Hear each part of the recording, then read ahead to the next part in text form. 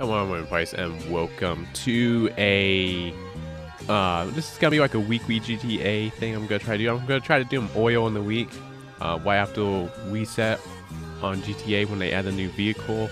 Basically, it's going to be a once a week video talking about what the new vehicle is, um, if there was any glitches that were patched, that you know and if there's new like uh, glitches to give your car to a friend or your car to a friend, duplication glitch, stuff like that. And maybe other little glitches that are kind of cool that I have found or other people have found. And this is just like a video that's going to uh, cover does basically a lot of it way fast for you guys know what has happened and if there's any new glitches. So start off for uh, this week.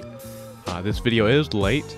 I've been meaning to make this video for the last couple of days. I've just been really busy, and I want to apologize for everyone that um, watched the channel. I have not had any videos for a few weeks. But anyways, first thing, the new vehicle is the Kamacho or something like that.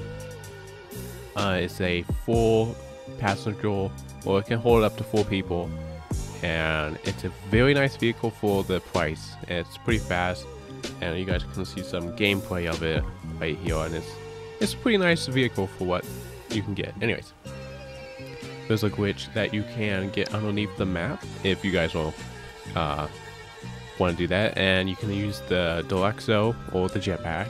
And you just go to this building right here and you just fly up into the corner and then uh, turn around and drive a little bit forwards and you'll fall through the map and then you want to turn on hover mode you'll be underneath the map.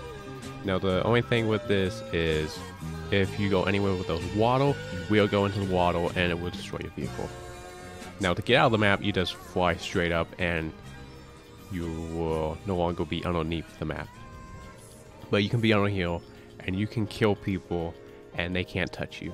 Now there's a couple of different uh, uh, duplication glitches. I will have a link to the duplication glitches that I know work and that you guys can try to.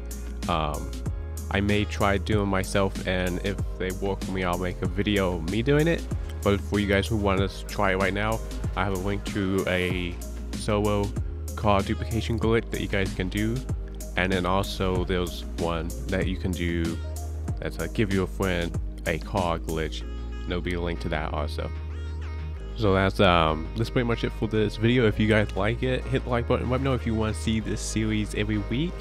And uh, if you have any suggestions leave it in the comments. If you guys know anything you can leave it in the comments for other people to uh, find out if like there's any little glitches or anything like that you guys know of.